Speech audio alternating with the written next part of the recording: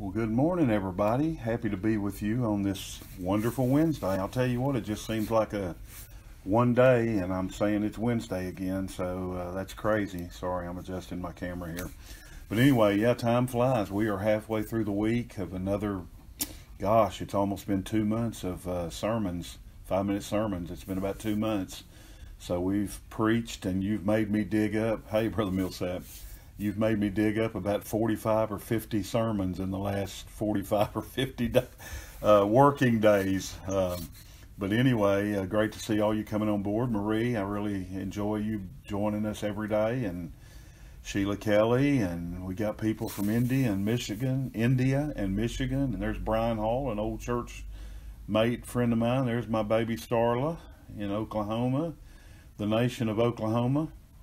But anyway, a bunch of you are jumping on. I appreciate that. love love y'all coming on, and we're going to talk out of Deuteronomy, um, uh, the 17th chapter. If you've, hey Brian, how are you doing? Good to see you, my brother.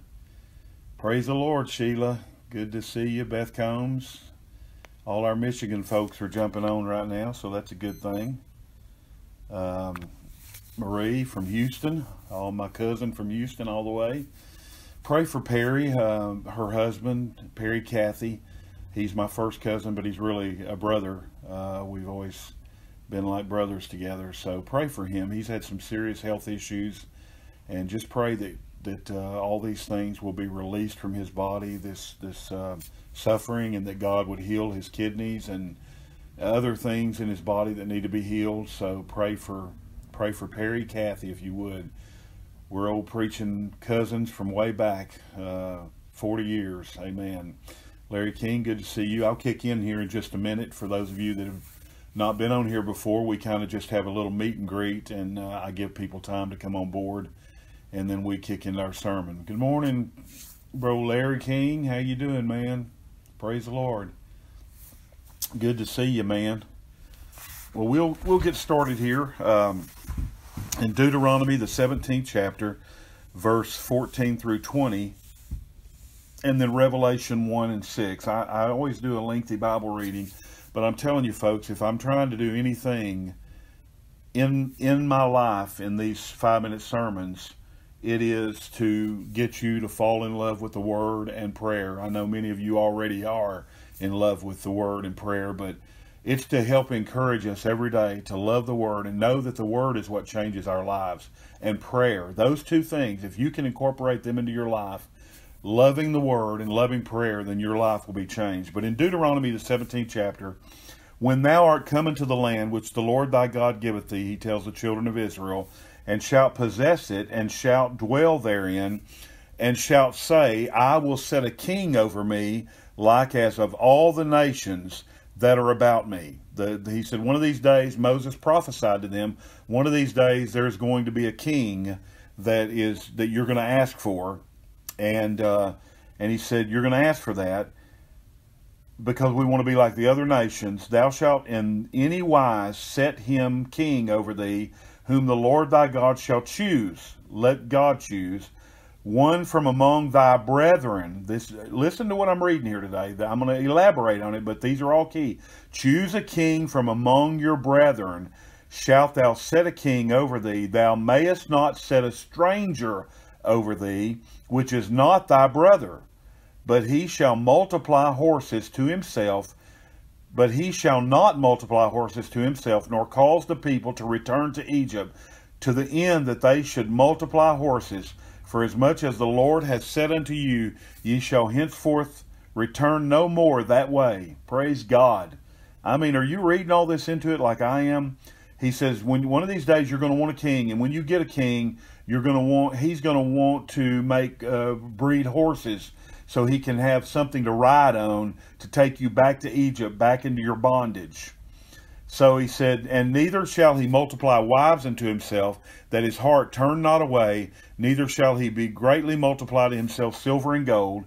And it shall be, when he sitteth upon the throne of his kingdom, that he shall write him a copy. Here's another one. He shall write him a copy of this law in a book out of that which is before the priests, the Levites, and it shall be with him. And I mean, you you hug this law, you hug this book that you have handwritten, King, and you love that book, and you put it beside you. Amen.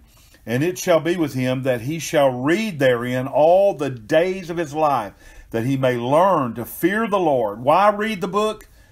To learn to fear the Lord his God, to keep all the words of this law and these statutes to keep all the words of these laws and these statutes, to do them, that his heart may not be lifted up above his brethren, and that he turn not aside from the commandment to the right hand or to the left, to the end that he may prolong his days in his kingdom, he and his children in the midst of Israel. And then, real quickly, Revelation 1 and 6 And he hath made us, and hath made us kings and priests unto God and his Father. To him be glory and dominion forever and ever. Amen. So God is giving instructions to a king. One of these days, Israel, you're going to ask for a king, and there's some stipulations that I'm going to give you. And and I just told you out of Revelation 1 and 6 that we are kings and priests. So I think that we ought to take the advice that Moses gave the people in Deuteronomy and and and uh, operate our kingship just like God told them to operate their kingship. We're we are in the law uh, part of the Bible right now. I'm I'm finishing up uh, Deuteronomy myself personally. Uh, I'm finishing it up because basically what I do is every day I get up and read the Word and I get a fresh word for this five minute sermon. Like I say, it's been about 45 or 50 of them, and I am shocked. I'm totally blown away that I have developed that many sermons. But every day I get fresh manna from heaven, and it depends on where I'm reading, where my devotion is. So you get the benefit or whatever of what I'm reading uh, because basically we'll go through the whole Bible eventually uh, together.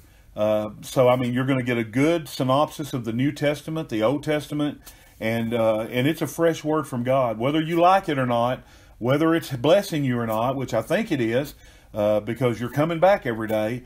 Uh, just know this: that it is a fresh word. It's a rhema word. There's the logos word, for instance, where where Peter walked on the water. Amen. He got out of the boat and he walked on the water.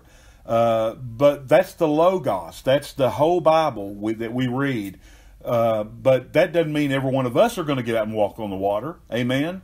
Uh, you know, you could say, well, it's in the Bible. Peter walked on the water, so I'm going to walk on the water. No, that was for Peter, and it could be for you one day. But right now, it's for Peter because it's a Logos word that we read. The, uh, it's the Spirit of God. But when you need a rhema word, that means a fresh word, a fresh word from God for Don Hegg, for Larry King, for Sonny Cathey. The word you get might not be the word I need. Uh, understand what I'm saying? But but anyway, so we are in this in the law right now. So therefore, the teachings that I'm giving you every day are are, ba- are from that uh, context. Amen. So they're stern, they're uh, they're beautiful, they're they're convicting. Amen. But Moses prophesied that one day there would be a king, and, I, and from the best of my studies this morning that I could find, that it was about 300 years later that King Saul, the sure enough, the people of Israel did just like what Moses said. They asked for a king, and King Saul, which became a total disaster, became a king over the children of Israel. He did. Now remember, he remember what this word said. When you become king, don't get too rich, don't get too many wives all right? And don't make modes of transportation to get you out of the will of God. Don't create horses that will make you ride faster back to Egypt. These all apply to us, friends. Can you see this? Amen. So Moses prophesied it, and Saul did exactly that. He got rich, he married wives, and Solomon was really bad at this. The richest man in the world, the wisest man in the world, the most wives in the world, and had horse stables. I stood on the on uh, at Megiddo, the, overlooking the Valley of Armageddon, in one of the cities that used to be Solomon's horse stables. Amen. He did exactly what God said don't do when you become king. Don't have, don't breed horses to take them back to Egypt, and don't get too rich, which he was the richest man in the world, and don't marry too many wives, which he did every one of them. Folks, if we could just take the advice of God if we could just obey God, our lives would be so much better. This is what I'm stressing. At the sake, for the at the very uh, uh, possibility of offending you sometimes, because I'm as I, I, need God as much as you need God. Please understand that when a preacher is preaching to you, he's not preaching out of sanctimonious platitudes because he's perfect, because he has arrived, and because he never create commits sins. He never has his own struggles. Please understand that Sonny Cathey is preaching to you simply out of the Word of God with all my faults and failures that I'm trying to improve on while I'm helping you try to improve on them. Amen. So we're working this together. Amen. None of us are perfect. But I got to tell you what the word says, whether I am able to attain to that or not. That's my goal. Understand me. I'm not telling you I'm preaching to you and I'm out, you know, fooling around or I'm out uh, committing sins, you know, that uh, premeditated sins and trying to. No, I, since 1975, or actually 1980, when I came back to the Lord, have tried my best to live for God. But I'm telling you, in the midst of all that, I have a lot of failures. Amen. But we're working this together, but we cannot leave out part of the Word of God. It's kind of like if you smoke dope in your life. Well, I can't ever tell my children not to smoke dope because I smoke dope. No, that's foolishness. You need to be able to tell your children the things that you struggled with. You need to be able to say, it doesn't make you a hypocrite because you smoked dope one time or you smoked cigarettes one time or you still smoke cigarettes, amen. It doesn't make you a hypocrite to tell people you love, don't do this because it's not healthy. Amen. And so this is where I'm coming from. I just want you to know where I'm coming from. Amen. So Moses prophesied it 300 years later. It happened. The king came. So let's look at, at, at, a few things that he told the king. Verse 13, which I did not read earlier, said that the people, this is uh, Deuteronomy 17 13, that the people needed to hear and fear and do no more presumptuously. That's our goal, right?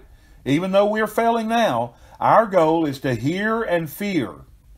That means to reverence God and to want to please Him. He said, not to set a stranger over you, only one of thy brethren. This is this to me is saying to us as modern day kings and priests in the kingdom of God is only trust your soul, or in, in the case of Israel, the soul of the nation, into the hands of someone that is part of the covenant now, if you're getting a bunch of advice from a bunch of people that are living in sin and have no regard for God, you need to stop that now.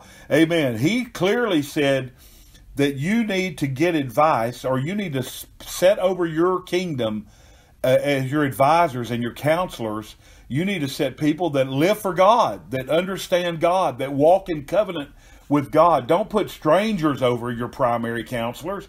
That doesn't mean if you're trying to learn architectural that you can't go to an architect and learn how to be an architect. And even though he might not be a Christian, amen, he might be a sinner. Uh, there's trades you need to learn if you want to learn the painting trade. You're going to hear a lot of cussing. You're going to hear, you know, I mean, I was in construction all my life. I've been in construction since I was 14 years old. And believe me, people will cuss in front of me and they'll say, Oh, no, you're a preacher. And I'll say, Look, I was a construction worker first. Amen. So understand me. I don't, you know, I appreciate you wanting to respect my ministry, amen, and and thank you for that. And and uh, it's preferable uh, not to come out with a bunch of colorful language, but if you do, understand that this human being right here, before I was a preacher, I was a construction worker, and I understand the dynamics of all that. But but yet, if I want to put somebody over my soul, over my kingship that God has given me, I want it to be people that are people of God, people that are walking in covenant with God. Now listen to this. We are we are sending our kids off to college and they are being turned away from God. This is not a fanatical statement from a conservative Christian for which I plead guilty. I am a conservative Christian and I plead guilty to that. But I'm not a wild eyed fanatic that's telling you don't send your kid to college or this or that. I'm just telling you your responsibilities as a parent does not end when they're in elementary, junior high, and high school. They're going to college, friend, after being raised in a Christian home, and they are losing out with God because of these atheistic instructors that are literally turning our children away from God. Amen. You hear me now? This is a fact. And so we need to understand this when our children and our grandchildren go off to college, we need to be a part of that advice team, amen, as much as the parents will allow to say, look, you know, you know, you got to watch this. I'll give you a quick story real quick. there was a young girl, a beautiful young lady that worked in one of the buildings that I go to to to um, do part of my work that I do secularly to make my living, to pay my bills. I tell everybody I'm not a televangelist, so I have to work for a living. all right? All right, I'm not a multi-squillionaire. Amen. Kenneth Copeland, amen, on TV. Uh, you know, I got to work for a living, and I've done it all my life. There's preachers that have always lived off the gospel, and that's wonderful. I, gosh, that would be so great. But me, I kind of ended up in this work, and I love to work. I absolutely, when I get through this five minute sermon, I'm going to turn around to my computer screen and I'm going to get to work. Amen. And I love what I do. I love my work.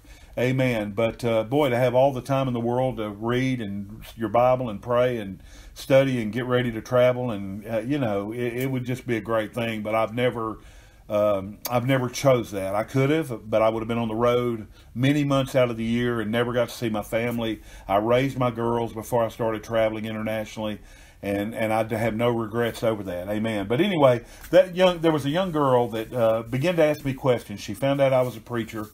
And she began to ask me questions about the Bible, and she got excited. I would answer her questions, and I said, "Look, me and my wife can teach you a Bible study, and oh, that'd be great, you know." And before we could get the Bible study going, she started in our local college, McLennan County College. I'll go ahead and name it. And there's a religious professor there or instructor there that basically turned her away from God. Okay? He basically taught uh, whatever he taught. I've never been in this class, thank goodness. But whatever he taught, one day I asked her, I said, Are you ready for your Bible study now? And she said, I've been going to college and she said, I, I just absolutely don't even know if I believe in God anymore. Now, that's a sad set of affairs, friend, when you can go to a religious course at a college in America and you can be turn your back on God and walk away from God. I'm telling you right now, that's a terrible thing to say, but it's a fact. So God tells us to be so careful, so careful not to uh, throw ourselves into these situations. Amen to where we are in bad shape. So basically, what we're what I want to cover here real quickly is the things that he said not to do. He said you don't create ways of escape from your religion. Don't don't breed horses that will carry you back into bondage. So basically, to me, that's telling us do not entertain things from your old life that will cause you to want to go back to your old life. Back in the 70s and 80s, I sang country gospel music. I'm sorry, country music, outlaw music, Willie Waylon, Jerry Jeff Walker, Ray Wylie Hubbard, all these different ones. We sang at the Hippodrome. We sang at different functions, jamborees, and some beer joints even as a kid, as a young young person, before I even had my driver's license.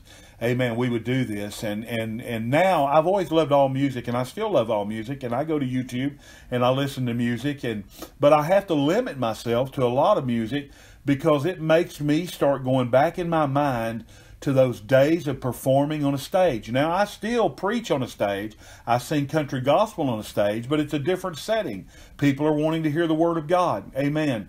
And I sing everywhere I go. uh, uh, uh, Bulgaria, Poland, everywhere I go, Czech Republic, everywhere I travel around the country, they they want me to sing most of the time. Amen. And and then when I get through singing, they say, "Hurry up, and preach, man." I mean, it's got to be better. No, I'm just kidding. God gave me a talent for that, and I appreciate that my uh, my daughter Starla's watching, and she has a talent for singing. Amen. But uh, and Sabrina and and Savannah, Amen. My daughter Savannah uh, wrote songs and sang songs under her breath as we traveled. Amen. But anyway, so these things that would want to draw you back, you need to burn those bridges. Not I'm I'm not talking about don't ever listen to a song again. I do it. Okay, but when I've had my fill of it, I know, uh oh, I got I got to get out of this now. I'm feeling kind of redneck. Hey man, I'm the old Waco rednecks coming back into me, and so you know, you know what I'm saying. We don't want to saturate ourselves that stuff that's going to create horses that'll take us back to Egypt. I hope that you're enjoying this today. I sure am. Amen.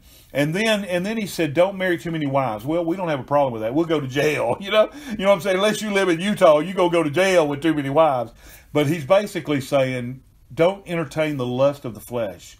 Do not, whatever that is, whatever it is that is appealing to your flesh, basically that translates to me that we are not to stroke and pet the flesh. You know, oh, I love you, body. I'm going to treat you. You know, we all have our struggles, right?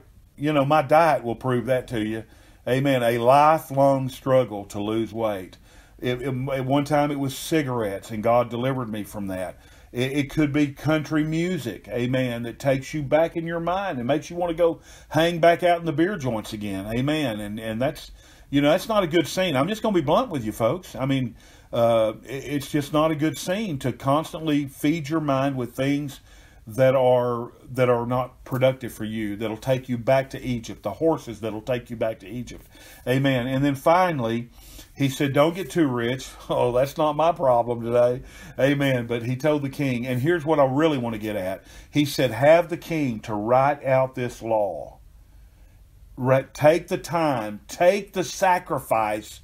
If you're going to be a king in your kingdom, then you write out this law, you set it beside your throne, and you read it every day until your soul is saturated with the good word of God and your soul is set on fire by God to where you will not want to disobey Him. As I close out this five minute sermon right now, I hope this has blessed you. I hope this has blessed you. You don't cater to the flesh. Amen. You don't create horses or breed horses or do things that will take you back to Egypt, back to bondage, and you simply love the Word of God and prayer. I hope it's blessed you, folks. I want to pray for you right now, and as always, I ask you to share me on your wall. I had people write me yesterday, yesterday on my sermon yesterday. Tag me, tag me on my wall. So if you want me to tag you, uh, as long as it's manageable, I'll tag everybody that I can. Uh, but anyway, let's pray right now. Father, we love you so much and we thank you for this time with my friends and family. And I ask you to bless them today, prosper them, bless their family, heal their bodies, create the financial uh, network that they need to bring in the finances to live, not only live, but to live well and to be blessed, Father. And we just praise you for today and we thank you in Jesus' name. Amen. God bless you. Listen, folks. Join us, join me tomorrow at 8 a.m. and then join me Friday with Jim Millsap for our talk, our probably our final talk maybe on depression, and then we'll go into something else. If you have any suggestions for Jim Millsap of what you would like for us to talk about, then please submit that uh, on this wall right now on the chat. Uh, and we love you so much. God bless you. I will see you at 8 a.m. tomorrow. And let me know what this message did for you today. Let me know if it blessed you today. We want to hear these things. God bless you. Bye bye.